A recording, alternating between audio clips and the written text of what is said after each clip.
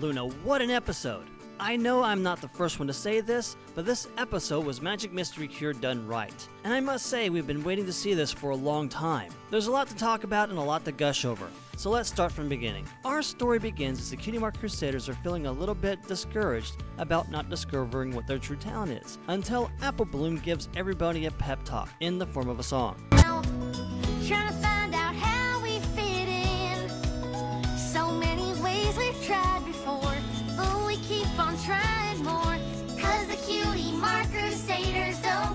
When suddenly, Pipsqueak bursts through their clubhouse door, wanting their help in winning the Student Pony President election. With new vigor, the CMC help Pip in defeating their longtime rival, Diamond Tiara. After losing the election and her best friend, Diamond Tiara runs away. The CMC, feeling guilty, decide to follow her and discover Diamond Tiara is truly a diamond in the rough.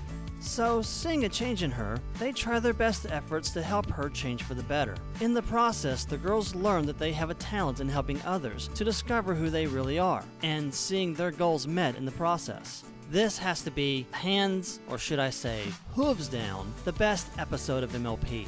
First off, the music of this episode was some of the best I've seen all season, though I'll Fly Away from Tanks for the Memories was a close second. Amy Keating Rogers and Danny Ingrams make a great pair when it comes to making music that moves the story along. Diamond Tiara's solo song, The Pony I Wanna Be, and The Light of Your Cutie Mark were two of my favorites in this episode. I know a lot of people think that the music causes the pacing to be a bit weird, but as for me, I thought it flowed very well. Amy did something this episode that was totally unexpected by the fandom. She actually made Diamond Tiara relatable and made us feel compassion for her in the process. I, for one, have had no lack of wanting to see Diamond Tiara dragged into the pit of Tartarus. But this episode gave us some understanding as to why she was the way she was. Her mother is an elitist prick.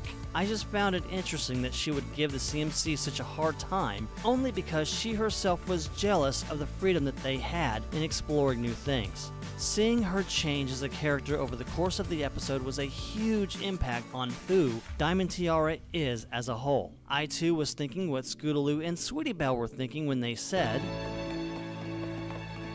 Is it weird that I feel bad for her?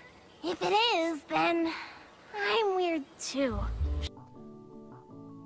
It was at this point in the episode that I started to cry along with Diamond Tiara. The liquid pride didn't stop there. After the CMC put away their selfish desires of getting their cutie marks for helping others realize their dreams, were we hit with another set of feels as our girls were magically lifted into the air. I was speechless, with tears rolling down my face when we were given what we have been waiting for for the past four seasons. And I tell you, I couldn't be more proud of our girls. As we conclude the Cutie Mark Crusaders arc, we are given a new mission for our girls.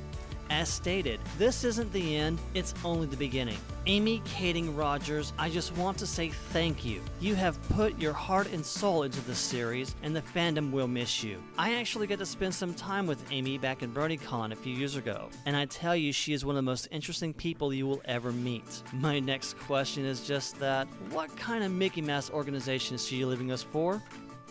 Oh, wait. Well, good luck to you, Amy, in your future endeavors. Overall, this episode has become my favorite episode of the whole series. The music was great, the story was great, and we got to see some development from both the previously despised Diamond Tiara and we get final confirmation on what the CMC's cutie marks were going to be. Did I fail to mention that this episode aired on the 5th anniversary of the show? Well, here's looking to another 5 years. I give this episode a 10 out of 10. This has been a Mason al'Cat review.